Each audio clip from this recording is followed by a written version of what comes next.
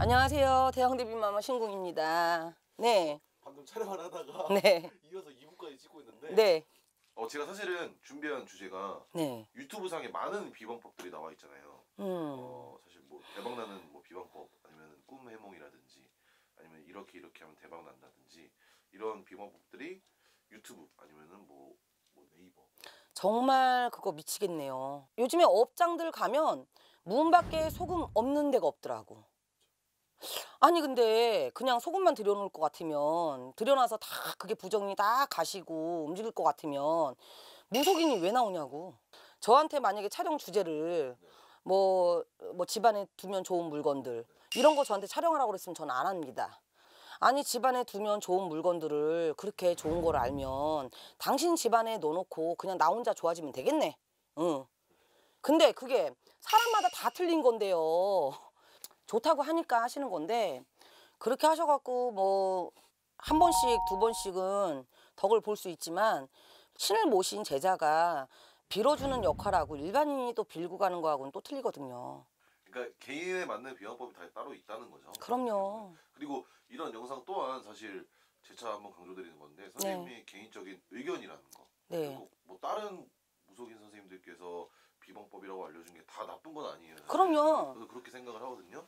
근데 이제 무속인 선생님들이 가르쳐 줬다고 해서 그거를 일반인들이 다 해가지고 뭐 돈 안 들어간다고 해서 움직일 것 같으면 대한민국에 일 다 잘 풀려야지 안 풀리는 사람 없겠네. 그냥 갖다 놔서 다 잘 되고 요즘에 선무당이 사람 잡아요. 그러면 저는 그냥 그런 분들 보면 웃어요. 왜? 음 어쩔 수 있어요. 뭘 가르쳐 줘요. 예. 오늘 손님들한테 비방법을 따로 개인적으로 알려주세요.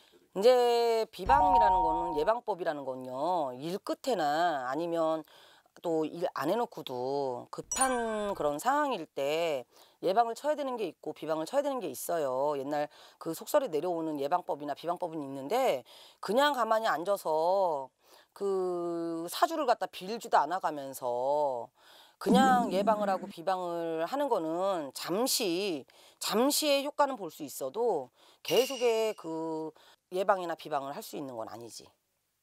음. 예, 그렇게 할 것 같았으면 무속인도 없어야 되는 거고 그냥 일반인으로 살아가면서 그런 예방만 치고 그런 비방만 쳐가면서 나도 살겠네. 예. 선생님 개인적인 비방법이 있다면 유튜브에 공개하실 생각 전혀 없으시죠? 공개요? 함부로 할 수는 없어요. 왜냐하면 그게 일반인마다 예방이나 비방이나 어떻게 하는 거마다 그 진단이 틀린 건데 그걸 갖다 그냥 제가 지금 이렇게 뱉어놓고 다 하셔갖고 안 되면 제 채널 보시고 욕할 거 아니에요. 예, 그러니 다른 뭐 무속 선생님들이 예방법이나 비방법이나 또 뭐 이런 거를 이렇게 유튜브를 찍었다고 해서 다 나쁜 건 아닌데 사실 그게 다 똑같이 맞을 순 없다라는 거. 이 부분을 말씀드리는 겁니다. 네, 감사합니다. 감사합니다.